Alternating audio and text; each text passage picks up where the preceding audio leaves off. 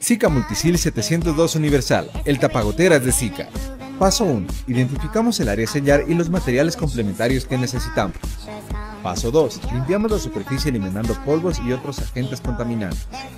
Paso 3. Determinamos la longitud de la zona que vamos a sellar y cortamos la cinta. Paso 4. Retiramos la protección de la cinta y la adherimos sobre la zona sellada.